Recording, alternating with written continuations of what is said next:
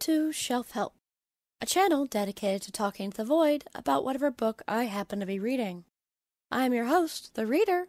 The following review will contain spoilers.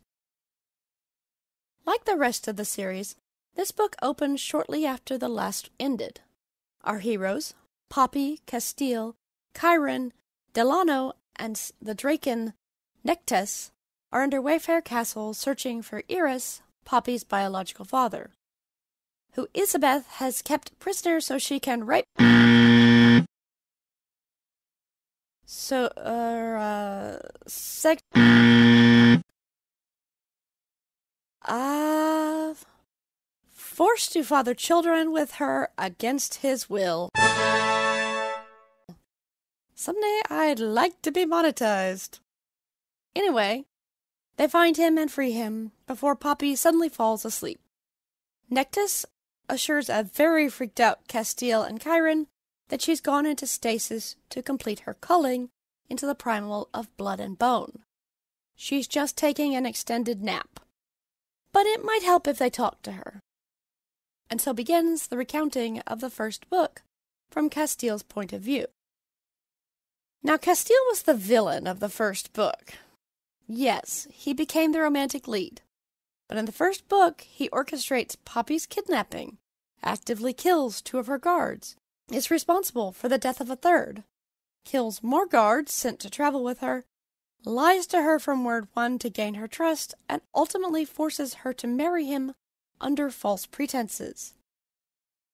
And that doesn't account for all the people he hurt along the way or killed for being an inconvenience. This actually isn't that uncommon in supernatural romance. But, well, we are dealing with literal monsters. So this version does soften his image a bit. I feel the need at this point to give the same warning as the book. Casteel is not in a good place at the start of this series. He's better than he was when he was freed from the Ascended, but he's still not good. If you need to skip this part, please jump to this time.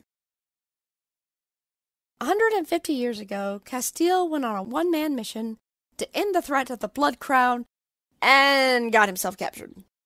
He spent the next 50 years a prisoner, his blood taken to ascend New Vampi, kept in a cage and chains, sexually, physically, and emotionally abused, forced to kill other Atlanteans to survive. The body is left to rot alongside him. And these are just the things that have been mentioned so far in the story.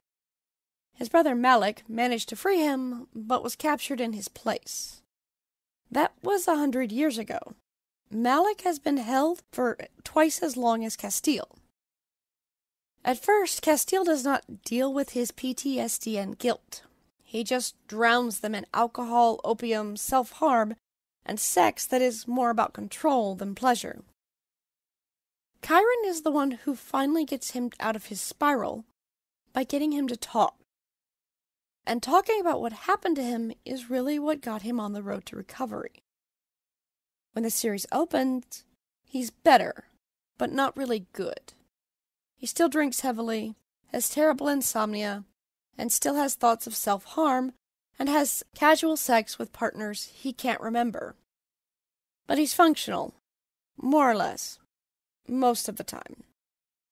More than anything, he's angry, mostly at himself, but the Ascended in general and the Blood Crown in particular are a close second. And he is drowning in guilt about his brother. For those of you who are rejoining us, when Poppy said she did not know how he was functional while in so much emotional pain, she wasn't kidding. And Poppy isn't a magical cure for Casteel's mental health. Throughout the series, he and Poppy still casually mention aspects of his issues. He even asks her not to take his pain deliberately, and she respects that request. On to the story. As a motif, I'm not super into his POV stories. They rarely add much, and at times they can do more harm than good. The series thus far has been told in third person limited, following Poppy. In War of Two Queens, we did have some of Casteel's perspective, but for the most part, what's going on in Casteel's head is a mystery, which is a fine thing for a romantic lead. You want them to be that way. It allows the readers to project their own ideas. For me, Casteel at the beginning of the series was cold and calculating, desperate to free his brother and save his people. He has carefully planned and plotted to kidnap the maiden. The one flaw, he never expected to fall in love. In reality, this scheme is way more harebrained and half baked. Half his own people think he's nuts, but they're loyal and willing to go with along with it anyway. He still never expected to fall in love, though. It shifted my perspective of the series as a whole. Not terribly, mind you. It still works. I just like my villains cold and calculating. In place of carefully laid plans and years of careful plotting, he knows nothing about Poppy beyond some publicly known facts. Even with his people planted in the guards, so much of what goes on is a surprise to him. He's not even that active, even as he falls for her. The fact that the Duke is caning her has to be spelled out for him instead of doing his own legwork, which I did find rather disappointing. At the opening of the story, he does not view Poppy as a full human being. Or worse, she's fully complicit in the schemes of the Blood Crown.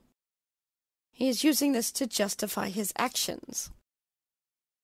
With context, he's gone from wanting to have his cake and eat it too, to knowing he's an ass, while still wanting that cake. Even more so as he realizes Poppy is just another victim of the Ascended. More so than most, in fact. Though he does not let that stop him, even as he develops feelings for her. He starts looking for a way out for her. Even wondering if he can kidnap her again from the capital after freeing his brother. Which leads to the forced marriage. He's got logical reasons instead of, I want you and I'm going to keep you, even if I have to be a better person to, so you stay. But he also doesn't share those reasons with her at the time because it would ruin the whole being the villain to book one thing.